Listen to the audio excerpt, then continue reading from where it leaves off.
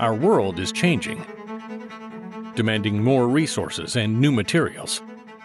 But the materials we are accustomed to have already reached their peak in physical properties and efficiency, and scientific development has reached the point where humans are able to change materials and their performance on a nano level. Since the discovery of graphene in 2004, it has been hailed as one of the most important material breakthroughs since the plastics revolution more than a century ago. What is graphene? Global race for graphene. With me, it's called graphene. And if you roll up a layer of graphene, you get a graphene nanotube, flexible, record lengths to diameter, and with incredible properties. Nanotubes conduct current better than copper, withstand high temperatures, and are 100 times stronger than steel. Moreover, they are so small and weightless that if we take nanotubes even a little bit by mass, there will still be billions and billions of them. For example, if we take a liter of water and just add 0.001% of nanotubes, there will be 300 trillion of them in that liter. Therefore, even a tiny amount of nanotubes mixed in any material creates a powerful 3D spatial network in it and reinforces it, and then the unique properties of the tubes are transferred to the material itself. The material begins to conduct current or heat. Nanotubes reinforce the material, suppressing or redirecting cracks, and so on.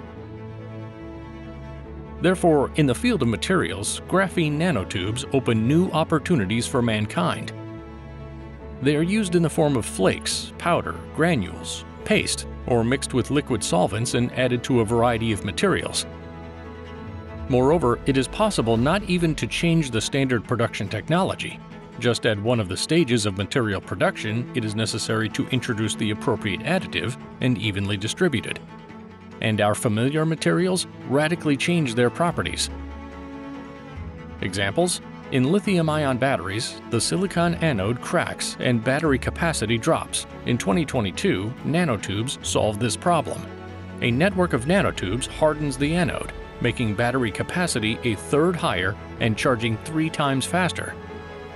Nanotubes and latex solve the touchscreen compatible safety gloves problem in manufacturing using touchscreens. So, ultra long and ultra strong electrically conductive tube filaments are already changing the properties of thousands of materials in a wide variety of industries, one by one, from home appliances to construction, from medicine to robotics, from gas and oil to aerospace. Today, more than 30 new patents are filed for nanotube solutions per day, every day, and there is enough carbon in all forms on Earth for these thousands of applications a new materials revolution is beginning.